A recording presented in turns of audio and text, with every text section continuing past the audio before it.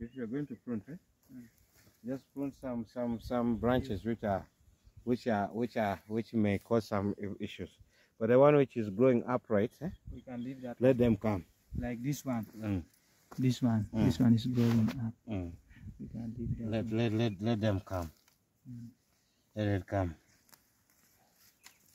Like this one you can leave because now still Mm. these stems Mm. will still grow. Eh? Yeah, I know. They will still come, and this this this empty place may reach up around the side.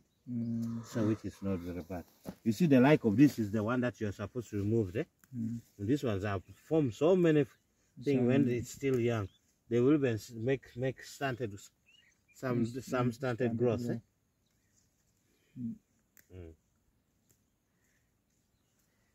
So when when are we going to start that pruning? The pruning they will start Tomorrow.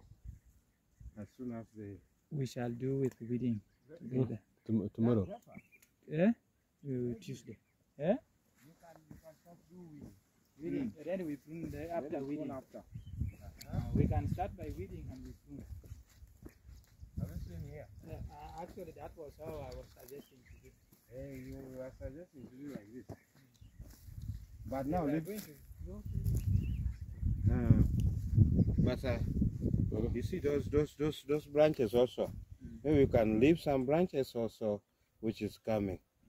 Mm. Yeah, because this one they are going to bear. Mm. Mm. This is very nice, huh? Mm. It has already been pruned now. It has been pruned. See the jelly is very nice. Mm. Actually, it's already there. Yeah,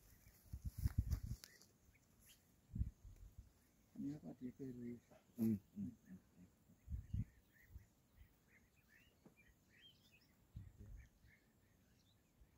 It's okay.